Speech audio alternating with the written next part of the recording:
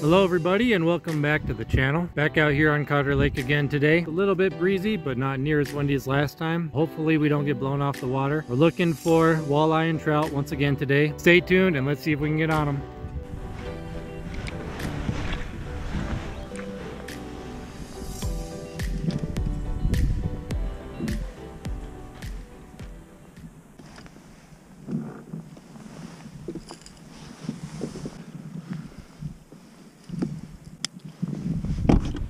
Right, a little bit of an update. Been out here for about 15 minutes, not very long. I am marking fish and the fish have been pretty shallow and I think I'm diving too too low beneath them. I'm gonna switch to a shallower bait and one that's more uh, traditionally known as walleye bait, a Smithwick Rogue. I think this is the junior size here.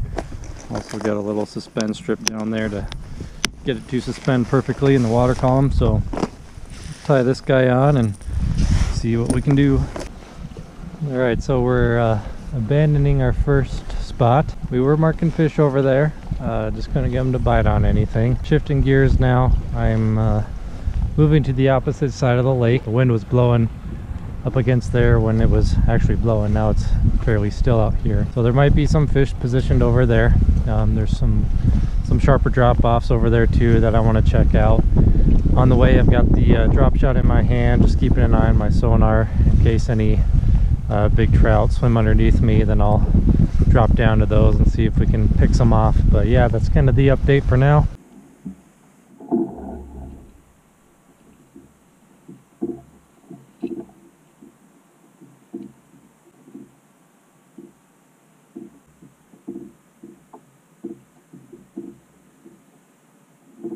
All right, one last update uh, before the sun completely goes down and it gets dark. Uh, I marked a few fish on the west side of the lake. Could not get anything to bite again. Haven't brought a lot of baits with me. Basically just some plastic and my assortment of jerk baits. And most of these fish have been up pretty shallow that I marked. So I've been throwing jerk baits in different depth ranges to cover the areas that I've marked them. Nothing doing so far. So hopefully these walleye really start kicking up here pretty soon. Nighttime feeders, as you all probably know. Yeah, stay tuned. Hopefully we can get into some before the before the night is done.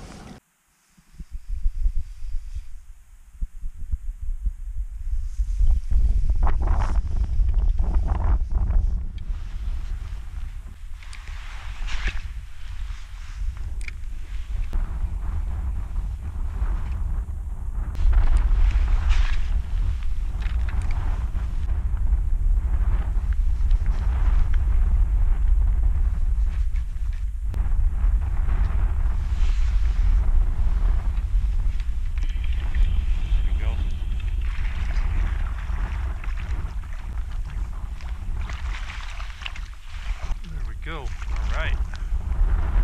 Good walleye. Once that wind kicked up, that's when he hit. All right, there we go.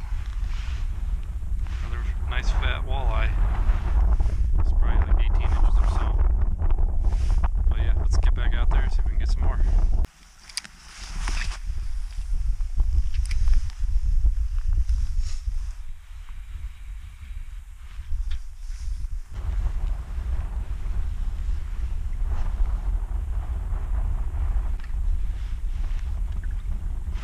Oh.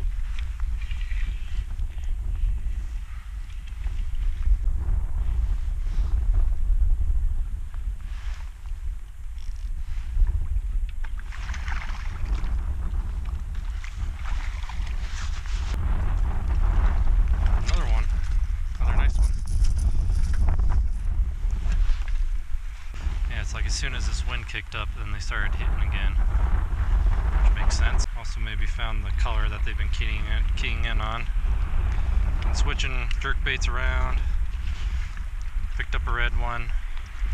Got into the spot where I was catching them the other day. And yeah, and we're starting to get on them. Alright, let's get back out there, get some more.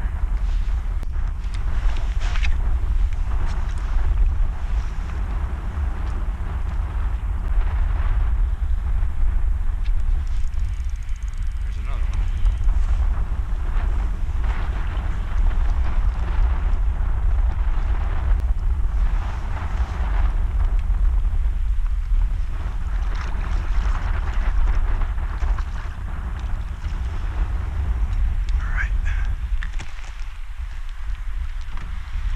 quite as big as the other ones, but still not a bad fish. He looks like he's probably 16, 17 or so.